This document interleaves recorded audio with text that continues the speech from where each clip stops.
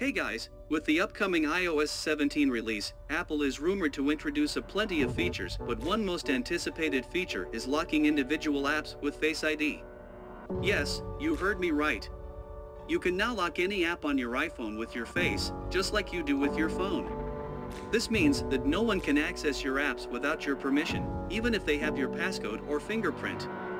This is a game changer for your privacy and security, especially if you use apps that contain sensitive or personal information, such as WhatsApp, Messenger, Notes, and more.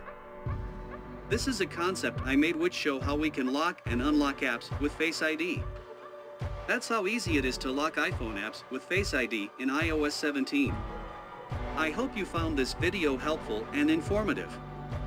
If you did, please give it a thumbs up and subscribe to my channel for more iPhone concepts, tips, and tricks. Thanks for watching and I'll see you in the next one.